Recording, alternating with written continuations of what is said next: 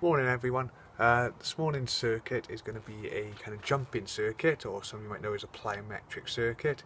We're going to do lots and lots of jumping and hopping.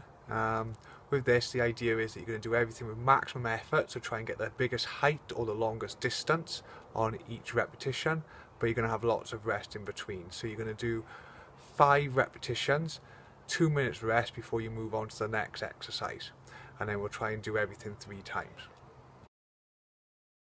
First exercise is going to be jump squats. So you're going to go down into a 90 degree position and jump up as high as you can.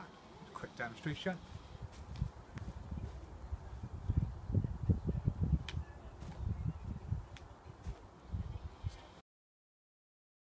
Exercise 2 is going to be bounds.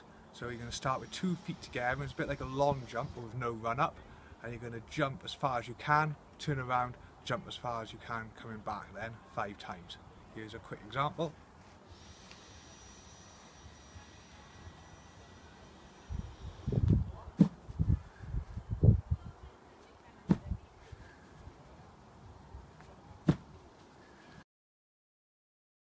Exercise 3 is hopping, uh, so you're going to do 5 hops on your right leg, 5 hops on your left leg, and with each hop you want to cover as much distance as possible.